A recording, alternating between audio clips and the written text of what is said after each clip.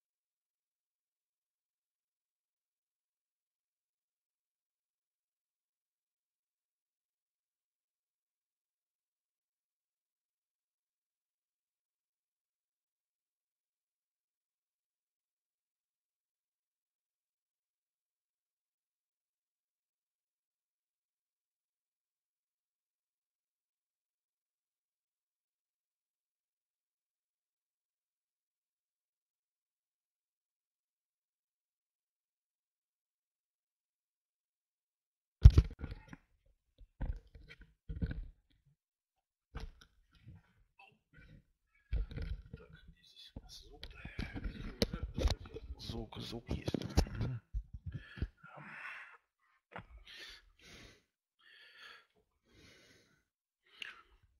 Добрый день, уважаемые коллеги. Рад приветствовать вас на а, очередном вебинаре Университетской библиотеки онлайн. Вначале выражу свою благодарность нашему бессменному соведущему Павлу Калинникову, который представляет наш учебно-методический центр, за его энтузиазм и прогрессивную деятельность, а, которая способствует нашему с вами общению. Значит, итак, а, наша а, сегодняшняя тема, а, которая была анонсирована, по книжной или коллекциями. Лучшие стратегии комплектования электронных ресурсов. Переводе на библиотечный язык я бы назвал эту тему, э, несколько обозначил бы эту тему несколько иначе. Старые э, песни о главном. Да? Э, старые, потому что э, всегда э, библиотеку, вузовскую библиотеку интересовал и интересует актуальный контент, книги, которые должны быть в библиотеке. И старые о главном, потому что этот вопрос, он а, независимо ни от каких сегодняшних реалий, приказов, а, административных, а, да, или других, так сказать, веяний, да, он все время, все время актуален, да. Значит, итак, по книжно или коллекциями будем сейчас с вами рассматривать и попытаемся вывести эту самую лучшую стратегию а, комплектования.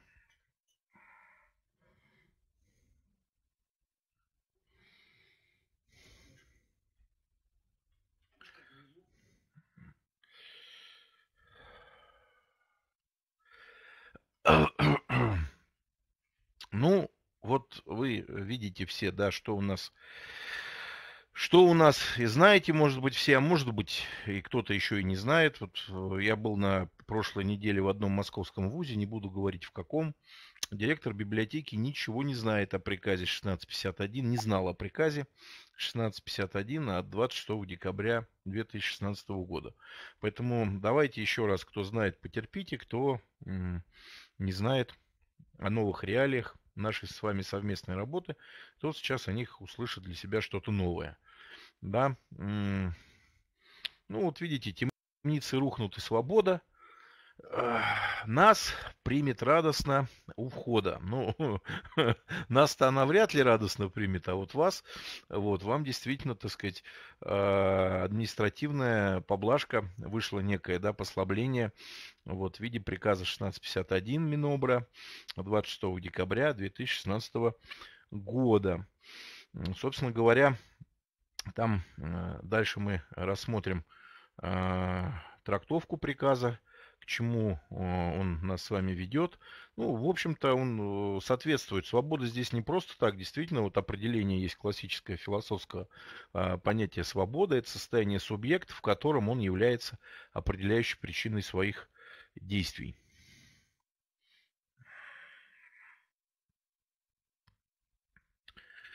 Вот. Ну, перефразируя дальше уж Александра Сергеевича Пушкина, АЭБС контент вам отдадут. Приказом Миноборнауки России 1651 на 26 декабря признаны утратившими силу приказы Минобра РФ соответственно, Минобрнауки, номер 1246, 1623 и 133 в части обеспеченности, степени устареваемости и грифованности учебной литературы. А, документ вступил в действие с 8 января 2017 года. А, кто там? АПР.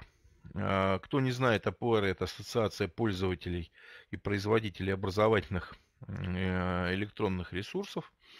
Наша компания одна а, выступила в свое время одним из соучредителей. Так вот, для того, чтобы попытаться разобраться в содержании, в смысле, в букве этого приказа и попытаться даже в духе этого приказа разобраться, АПР 16 января 2017 года в лице исполнительного директора госпожи Квелидзе Кузнецовой а, направила письмо в Минобрнауки России на имя замминистра Огородовой ни много ни мало с просьбой прокомментировать возникшие вопросы относительно а, новой ведомственной инициативы.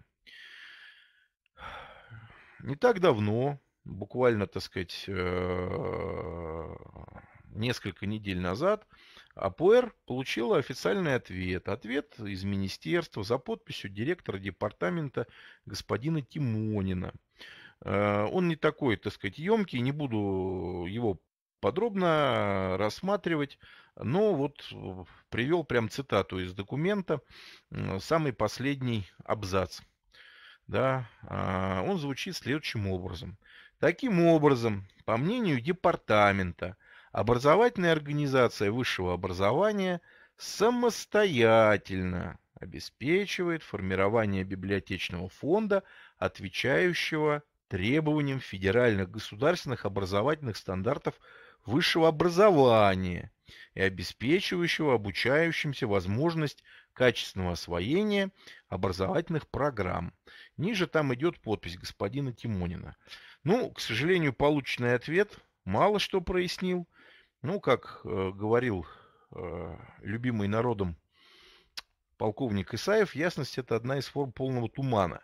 Да, но вот, в общем-то, на мой взгляд, вот этот абзац, он достаточно, так сказать, э, характерен и задает некий вектор, направление, опять же, да, вот, такое, которое соответствует определению философскому свободы, да, состояния субъекта, в котором он является определяющей причиной своих действий.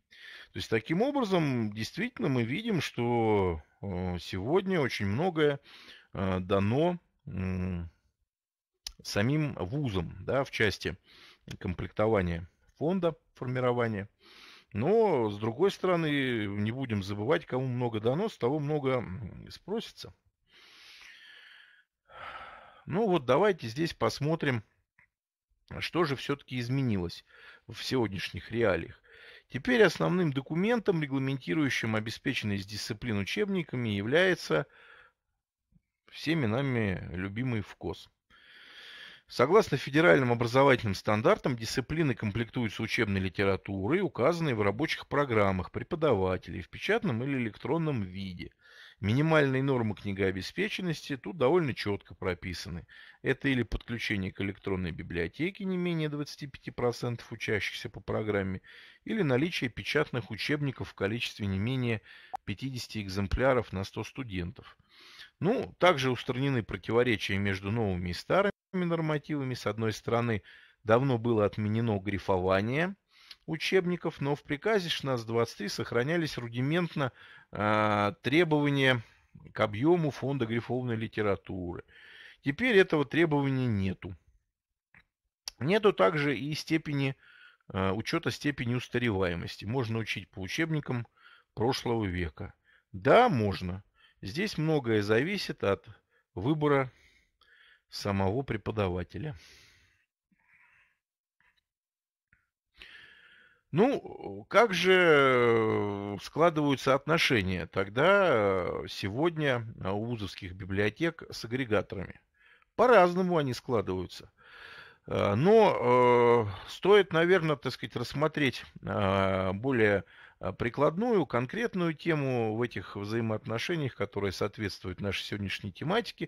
Это доступные сегодня на рынке ИБС стратегии комплектования. Ну, вот что могут э, реально, да, э, фактически, э, как могут быть ИБС, так сказать, да, быть полезными вузовской библиотеке именно вот по работе, по, в работе в разрезе комплектования. Ну, э, мне хотелось бы выделить э, шесть Э, на мой взгляд, основных э, стратегий комплектования и взаимодействия библиотек с э, вузовских библиотек с электронными библиотечными системами. Ну, первое, это когда библиотека приобретает бумажную книгу плюс электронную книгу. Файл на платформе какой-либо электронной библиотечной системы. Э, вторая стратегия – комплектование покнижно, точечно, когда библиотека берет только э, избираемые отдельные файлы на платформе IBS агрегатора для, э, для вуза. Есть многими любимая форма комплектования, когда вуз покупает, приобретает для библиотеки издательские коллекции на платформе да, электронно-библиотечной системы. Есть также блочное комплектование, четвертая стратегия, когда а, профильный вуз подписывает только ту часть ИБС, которая соответствует базовому ГСН вуза. А всей остальной невостребованной а, половине базовой части он говорит спасибо не надо.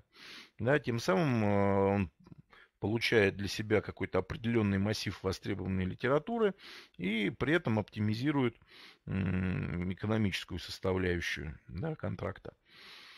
А, пятая стратегия комплектования, э, э, когда базовая часть ИБС приобретается полностью, оформляется подписка вузовской библиотеки на весь ресурс. Да, это такая самая простая. Ну и, конечно же, шестая стратегия, достаточно многообразовая, многогранная, которая включает в себя комбини... некие комбинации, когда э, комбинированные модели использует библиотека. Да? Например, э, базовая часть ИБС плюс коллекции, плюс или отдельные издания. Да? То есть вот э, все, что с чем, а, все то, с чем сталкивалась в, на своем а, достаточно богатом практическом опыте университетская библиотека онлайн в комплектовании вузов, при комплектовании вузов электронными изданиями, использовании нашего ресурса, ИБС Книгофонд. Вот я попытался изложить, сформулировать вот в виде вышеназванных стратегий.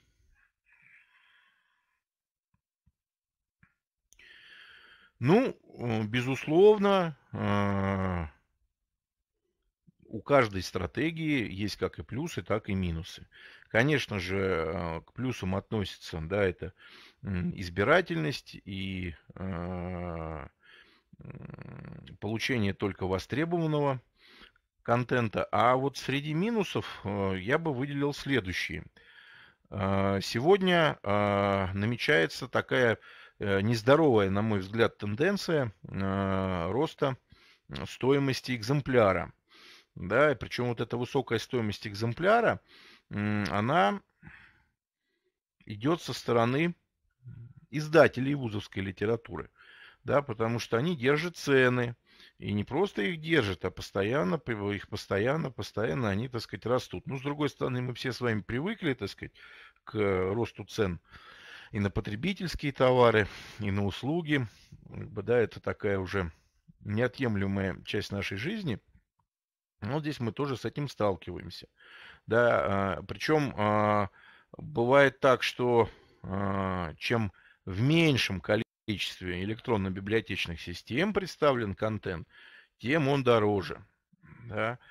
Вот э, приходится сталкиваться вот и с этим.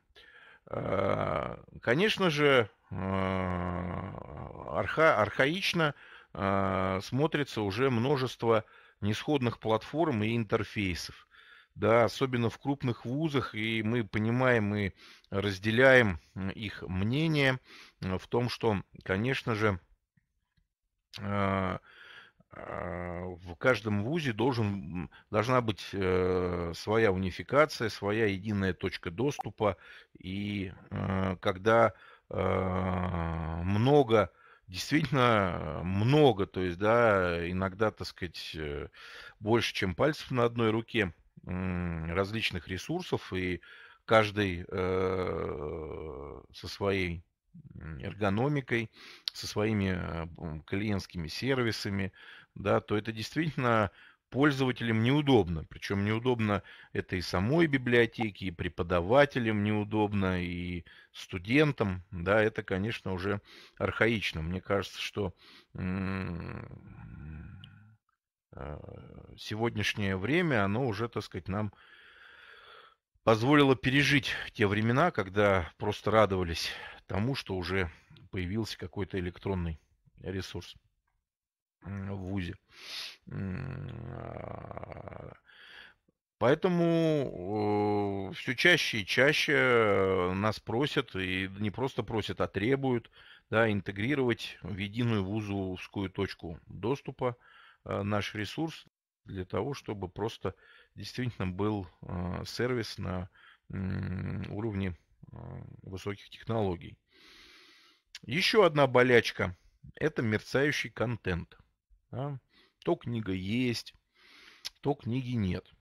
Ну, к сожалению, многие дистрибуторы этим грешат, потому что, конечно же, дистрибутор это не производитель, да, это Э, компания, которая оказывает э, и комплекс э, сервисных услуг, и является поставщиком продукта, она доводит его до конечного потребителя, это цивилизованная форма экономическая форма, которая институт отработанный, так сказать, в мировой экономике уже, так сказать, Э, годами. А, вот. Но недостаток, конечно же, что мы не обладаем полнотой прав, полностью, так сказать, да, на а, контент исключительными правообладателями являются издательства, авторы, у них свои взаимоотношения друг с другом.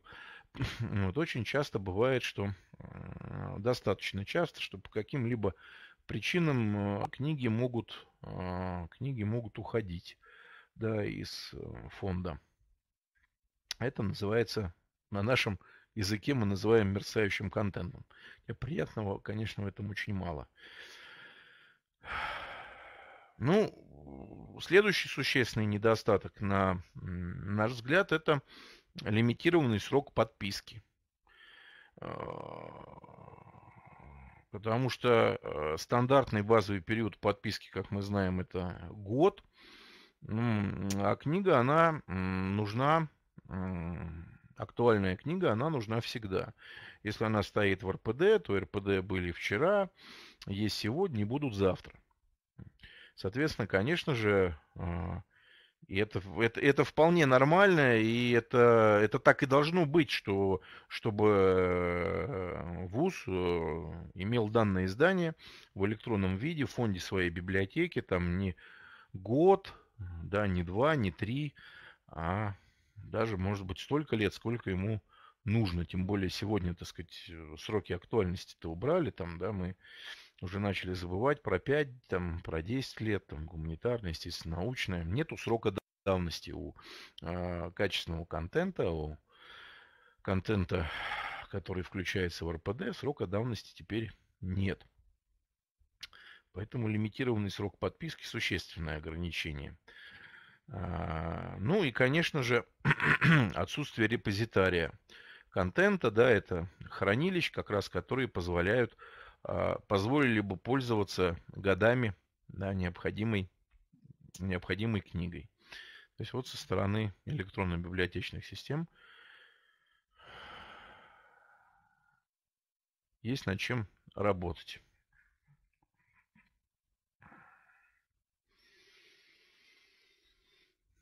Ну, вот, э, исходя вот из вышеизложенного, да, вот как раз и получается некая, на, на наш взгляд, э, оптимальная форма комплектования. Да, в чем же она выражается, в чем она заключается? В том, что сегодня, сейчас, помните, такая была старая добрая советская веселая песенка – ну вот, вот э, там был такой предприпев. Нет, нет, мы хотим сегодня, нет, нет, мы хотим сейчас, потому что понятно, что э, нужды наших уважаемых библиотек, они э, действительно требуют, э, они насущные, они актуальные, книга нужна сегодня, и учебный процесс его не остановить э, никак, никоим образом. Поэтому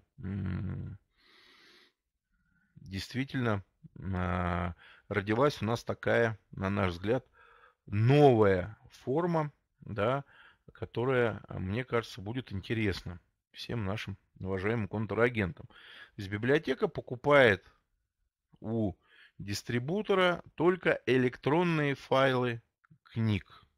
Ну, сразу оговорюсь, что там с платформой или без. Это решает, безусловно, сама библиотека, потому что мы сегодня, опять же, сталкиваемся с тем, что что э, у очень многих э, агрегаторов уже платформы это, так сказать, э, платформы никого не удивишь, они во многом архаичны, и нам уже говорят, вы знаете, вот у нас, у нас гораздо в нашем вузе вот платформа гораздо, на наш взгляд, интереснее и, так сказать, как-то э, функциональнее, чем, ваша. Ну, конечно, потому что не остановить развитие да, технологии и э, объективно многие вузы имеют свои очень продвинутые, как молодежь говорит, э, платформы. Поэтому, конечно, по желанию, с оговоркой с платформой или без. То есть, если у вуза есть там своя э, прекрасная электронная библиотека, ну, зачем мне еще избыточные, так сказать, там, чужие какие-то решения, да, чужие интерфейсы. Поэтому библиотека покупает только электронные файлы книг, да, на любой необходимый ей срок. Там от 1 до 10 лет и, и более. С платформой или без. Конечно же, все происходит в правовом поле э, при наличии у э, электронно-библиотечной системы э, полного объема прав от э, правообладателя, от издательства на такую долгосрочную или, я бы сказал, даже бессрочную да, поставку своего контента э, в э, вузовскую библиотеку. Э, в, в сумме, конечно же, в сумме, в единовременной выплате, да, это будет, конечно, достаточно ощутимая сумма. Но если мы разложим ее на годы-годы вперед, то, безусловно, эта цифра она а, будет выгодна. Выгодно, прежде всего, выгодно вузу, потому что книга а, обойдется значительно дешевле. А, то есть экономически это очевидно просто, да, здесь, так сказать, бесспорно совершенно. Далее не нужно будет каждый год там или два года, три года пролонгироваться да, здесь мы с вами вступаем в взаимоотношения единожды на какой-то определенный, так сказать, э, да, длительный период времени. Uh, нет, ну докупать, конечно же, доукомплектовываться можно там и нужно. Это же, так сказать, не значит, что мы не будем в контакте, не будем общаться, uh, не будем, так сказать, э, поддерживать uh, ассортиментную матрицу а, ассортиментной матрицей мы называем а, те 30-40 основных издательств, которые практически востребованы всеми вузами, без которых в принципе невозможно организация учебного процесса. Да, то есть это самые востребованные э, на сегодня э, книги.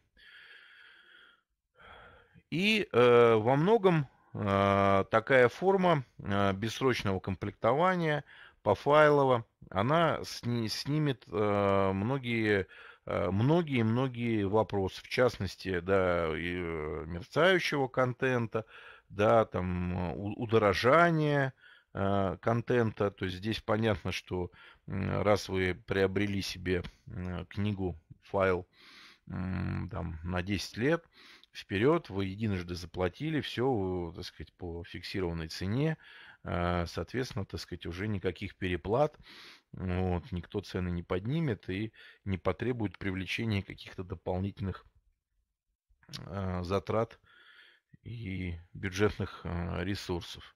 Ну и, конечно же, она, книга, она уже у вас в фонде, и вы можете, так сказать, быть спокойными, что в РПД данная позиция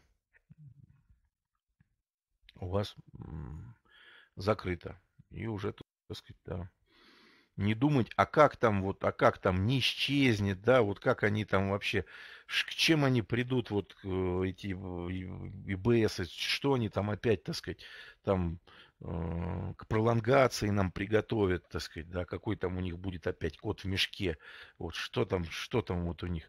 Поэтому мы э, э, призываем э, вот осмыслить вас, э, эту оптимальную, на наш взгляд, модель комплектования во многом, да, и если она вам интересна, вот обращайтесь, мы будем, простите, мы будем вести тогда а, работу а, по получению необходимых прав от издательств а, для того, чтобы именно переходить частично на новую, действительно новую форму комплектования электронными изданиями вузовских библиотек. И э, самое главное, что мне хотелось бы сказать, что так и должно быть, так тому и быть, потому что э, библиотека любая должна комплектоваться, исходя из э, насущных потребностей, да, не из-за каких-то, так сказать, выполнения нормативных э, требований или, так сказать, прихотей агрегатора, да, или что-то, так сказать, желание поработать в нагрузку, да, многие э, помнят, да, советские времена, люди нашего поколения, да, что такое в нагрузку, все прекрасно знают. Вот, на наш взгляд, так сказать, это никуда не годится. Да. А вот новая а, форма этим э, более прогрессивна. Кстати, вот пользуясь моментом, пока можно иметь э, обратную связь с вами, да, э, если вот такой экспресс-опрос, задать вам сейчас вопрос, и, может быть, буду, так сказать, благодарен за полученные ответы, насколько действительно вам это интересно и актуально да, такая форма работы. Опять же, сразу хочу сказать, что одно не исключает другое. То есть вы э, сразу, так сказать, не думайте, что мы собираемся отказаться, так сказать, да, от э, классической схемы работы. Нет, ни в коей мере. Вот, опять же, э, просто это инновационная какая-то, да, форма комплектования только для тех э, кому она необходима. Естественно, все э, наработанное э, опытом, выстраданное и точечное покнижное с платформой, и базовая часть, и издательские коллекции, и какие-то варианты, так сказать, комбинированные, да, то, о чем мы говорили, э, блочное комплектование, все это остается. Просто мы э, хотели бы э, сделать приятное, да, э, и как раньше тоже говорили, по просьбам трудящихся, э, да, есть такие библиотеки, которые на нас выходили, да, и сподвигли нас, так сказать, да, к такой э, новой формуле комплектования. То есть это будет еще один сервис, это будет еще, а, на наш взгляд, одна из удобных форм нашего с вами взаимодействия. Да? Каждой э, библиотеке по потребностям, каждому агрегатору по труду. Так, давайте здесь вот лента какие-то вопросы, вопросы. Сейчас давайте посмотрим, что здесь нам аудитория. Так, спрашивает. Ну вот видите, да, то, о чем мы с вами и говорили, что вот э, прям цитирую, что для вузов мерцание контента выливается в бесконечное редактирование карт книгообеспеченности и рабочих программ дисциплин. Вот это и есть один из главных посылов, да, который, так сказать, нас вот сподвиг к э, такой вот форме комплектования. Потому что, конечно, э, я понимаю тот э, объем работ, и не понаслышке, эти а, огромные формы, огромное количество таблиц. Конечно, это очень неудобно.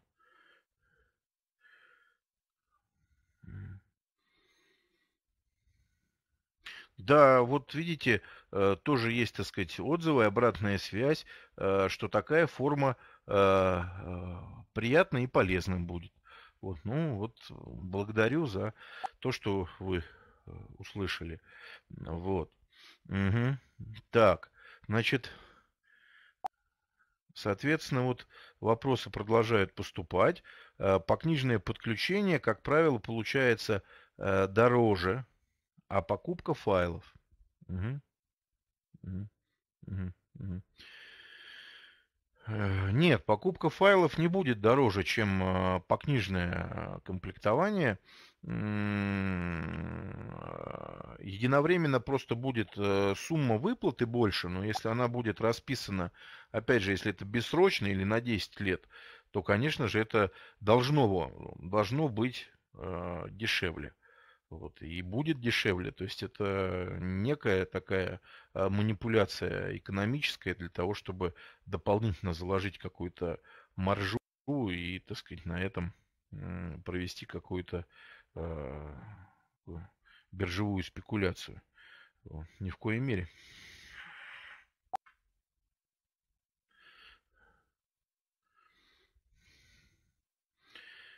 Так, если покупать файл без платформы на необходимый срок, то какие преимущества приобретения изданий в ВБС, а не напрямую у издательства? Хороший вопрос. Значит, э, как показывает э, э, сегодняшняя, так сказать, практика, и не только, так сказать, в, на рынке ИБС, на книжном рынке, собственно говоря, само понятие дистрибутор, ведь ИБС, да, если мы немножко сейчас, так сказать, переключим свое внимание с библиотечной темы на экономику, да, то ИБС это ведь не более чем э, дистрибутор. Нет, я сейчас не говорю, есть части БС, когда издательства э, продают свой контент и назвались там электронные библиотечные системы, и у них есть уникальное торговое предложение книги своего издательства, там ИБС одного издательства.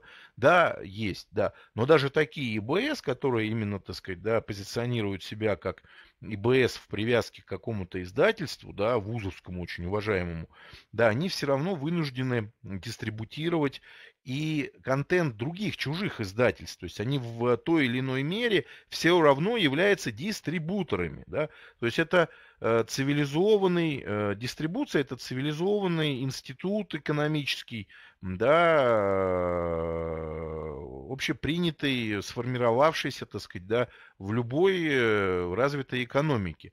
Когда производитель производит, да, там, а, а торговец да, продает. Поэтому в любом случае электронно-библиотечные системы, они остаются, и э, издательству просто э, многим издательствам и не нужно создавать свои какие-то, так сказать, структуры, отделы продаж, брать специально для этого специалистов, да, это же тоже зарплаты, рабочие места и прочее, прочее гораздо оптимальнее и гораздо продуктивнее пользоваться уже услугами э, электронно-библиотечных систем, которые являются э, дистрибуторами на библиотечном рынке. У них уже сложилась конъюнктура, да, у них уже, так сказать, устойчивые связи с контрагентами. Вот, поэтому можно, конечно, пытаться обращаться, так сказать, в издательство. И, но здесь что, если кто-то примет из издателей, из господ издателей такое решение, что им проще там продавать от себя и э, э, самим вступать, так сказать, в взаимоотношения. Ну что ж, мы же здесь не можем, так сказать, да, здесь уже, так сказать, это их позиция, и, значит, она обоснована, значит, так тому и быть. Но, в общем-то, если, так сказать, работать э, цивилизованно, в классическом таком подходе, да, то дистрибутор необходим. Он всем удобен, э, контрагентам он удобен тем, что, так сказать, да, это не, не некий ограниченный ассортимент, а дистрибутор, э, если это настоящий дистрибутор, да, он предоставляет максимальную, так сказать, палитру возможного а, а, всего того, что может э, предложить э, рынок да, в каком-то определенном а, сегменте.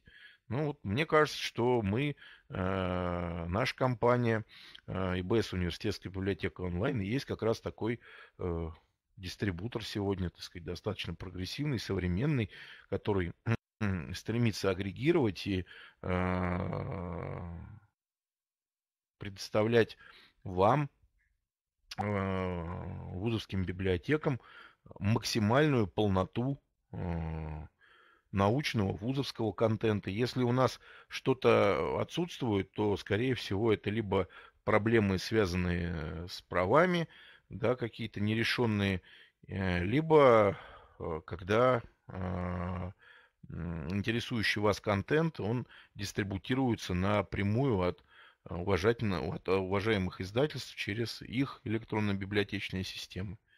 Только так, а мы вот видим свою роль именно, так сказать, для того, чтобы максимально удовлетворять ваши потребности в актуальной литературе. Так, давайте посмотрим, что, что еще у нас, так сказать, здесь, да. Так. Как быть с переизданиями? Обновление как будет происходить? Да? Ну, а также оно будет происходить. То есть, естественно, так сказать, мы будем э, следить и за новинками, и отбирать и размещать у себя э, новинки. То есть, да, если э, появляется более актуальный год, ну, милости просим, мы, так сказать, делаем поставку по более свежему году. Соответственно, а насколько э, вам нужна та или иная книга предыдущим годом, да, мы же рассмотрели нормативную часть, но э, нет никаких предписаний, вообще, так сказать, не устаревает. То есть э, Новый год это, как правило, стереотипное, стереотипное издание, да, они мало чем отличаются там от предыдущих версий. Зачем сейчас в сегодняшних реалиях вам об этом беспокоиться? Здесь даже закон на вашей стороне. Вот поэтому, ну что, ну, а, ну, если новинка, конечно, понадобится э, с свежим годом, да, ну, а если новинка не по году, а по содержанию, то, конечно, мы тоже будем поддерживать свой ассортимент. Мы же будем в постоянном, как и сегодня, и сейчас, в постоянном соприкосновении, в, контакте, в контакте с правообладателями и, так сказать, да, всячески отслеживать их ассортиментную политику.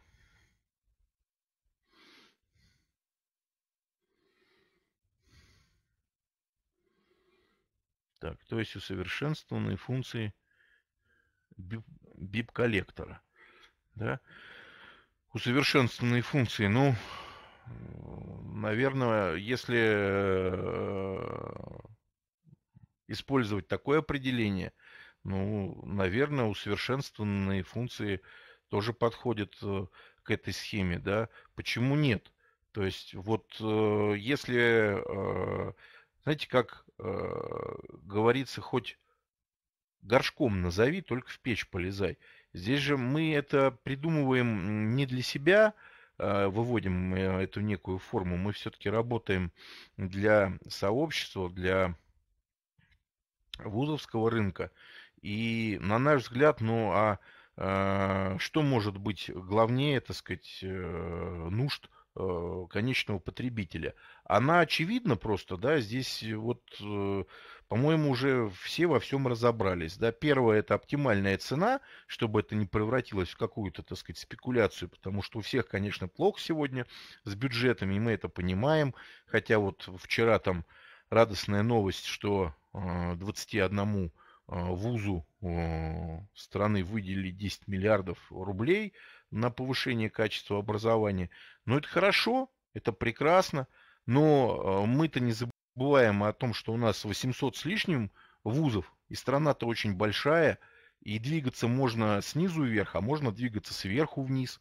Ну да, давайте, конечно, сделаем, так сказать, еще добавим тем, у кого, так сказать, есть вот финансы, да, так сказать, деньги к деньгам, как в народе говорится, а можно двигаться снизу вверх, более системно, так сказать, развивать, э, всю, так сказать, да, э, систему высшего образования, в принципе, так сказать, целиком, но это тоже тяжело, это требует дополнительных вложений. Но, наверное, это более правильно для того, чтобы в уровень среднего вуза у нас повышался, да, отдельно взятого, а не, а не только-то, ну, здесь уже, так сказать, разные, разные стратегии. Вот обратите внимание, это просто вот так мое замечание вот э, за, заметил из жизни, да, ну все мы там смотрим э, отечественные фильмы, все мы смотрим там зарубежные фильмы. Они бывают интересные, неинтересные. Я хочу не об этом сказать.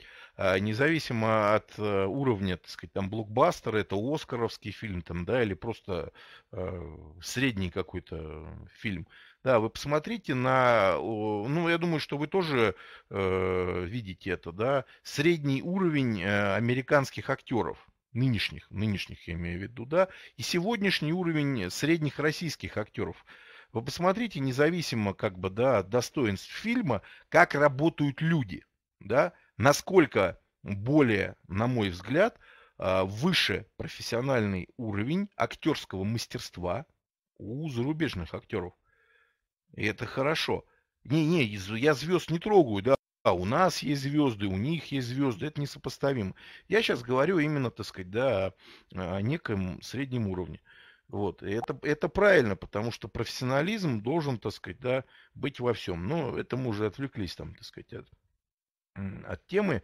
Мы говорили о том, что здесь, так сказать, самое важное, чтобы э, была невысокая цена, доступная, так сказать, соответствующая, так сказать, да, книг э, сегодняшним бюджетом, и чтобы книга э, была у вуза. А платформа это уже дополнительный сопутствующий сервис – в плане, так сказать, да, если она необходима по умолчанию, мы тогда эту платформу тоже можем книги вам а, поставлять эти файлы там вместе с платформой и теми сервисами, а, которые на ней есть.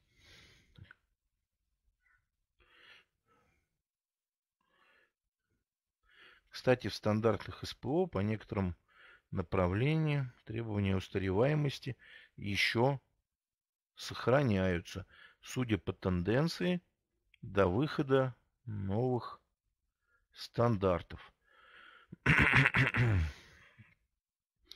Ну, для СПО, да, здесь что ж, здесь можно только констатировать, да. Ну, вообще, на самом деле, конечно, вопрос устареваемости – это э, такой дискутируемый, обсуждаемый вопрос, но э, классика вечная, и, э, безусловно, есть некие фундаментальные аксиомы, которые содержат в себе лучшие учебники, ну и э, только банально потому, что там да, прошло иное количество лет, обзывать их там устаревшими, э, конечно, это, наверное, тоже как-то было бы странно.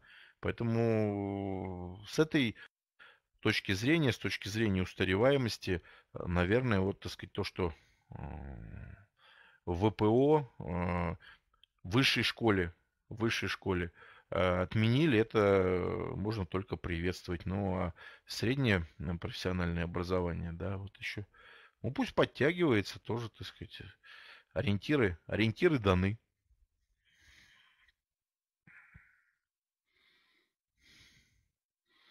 Ну вот, главное, что у нас было с вами из тех вопросов, которые я выделил. Так, вот еще здесь что-то, да? Для печатных книг, думаю, имелось в виду не только устареваемость содержания, но и физический износ книги. Да, безусловно. Конечно же, конечно.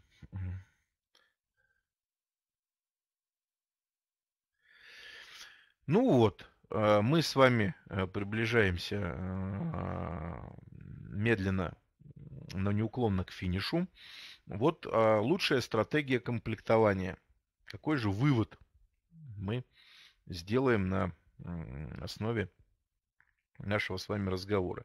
Мне кажется, он может быть сформулирован следующим образом, что стабильное наличие требуемого контента у поставщика на любой период комплектования вузовской библиотеки при наличии максимального количества изданий, входящих в РПД, в рабочие программы, да, и является лучшей стратегией, стратегией комплектования при оптимальном ценовом предложении. Опять же, да, делаю на это, так сказать, вот акцент. Он такой получился несколько громоздкий, но зато мне захотелось, чтобы в, в нем были именно отражены все те аспекты разговора, которые были затронуты и которые действительно нужны э, вузовской библиотеке. Еще раз мы работаем э, для вас.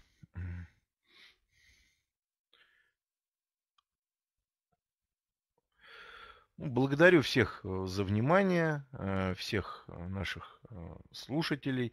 Мы уже многих многих э, знаем, э, наших постоянных слушателей, которые, так сказать, проявляют большую э, активность. Вот. Благодарю за внимание и до новых встреч.